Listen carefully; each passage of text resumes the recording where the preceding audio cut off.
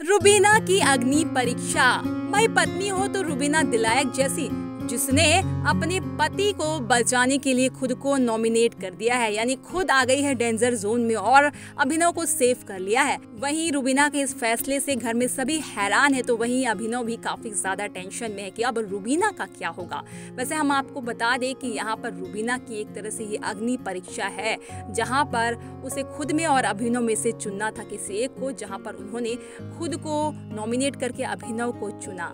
क्योंकि रुबीना, अभिनव जो ऐसे मुकाम पे खड़े थे, जहाँ पर दोनों पति पत्नी को किसी एक को चुनना था। और फाइनली रुबीना ने ये फैसला किया कि वो अभिनव को बचाएँगी। जैसे कि हम आपको बता दें कि रुबीना अभिनव से बहुत प्यार करती है। वो हर मोड़ पर अभिनव का साथ देती है, चाहे वो कोई भी बात हो। जैसे कि आपको पता ही है कि सलमान खान ने जब अभिनव के लिए कह दिया था कि वो सामान है तो उसके बाद रुबीना कितना ज़्यादा भड़क गई थी और रोई भी थी इस स्टेटमेंट के बाद। तो आप समझ सकते हैं कि रुबीना कितना ज़्यादा प्यार करती है अभिनव से। फ़िलहाल आने वाले एपिसोड में ये देखना काफ़ी ज़्यादा दिलचस्प होगा कि क्या रुबीना हो जाएँगी घर से बेघर। और फ़िलहाल बिग बॉस के लेटेस्ट अपडेट के लिए हमारे चैनल को सब्सक्राइब करना ना भूलें।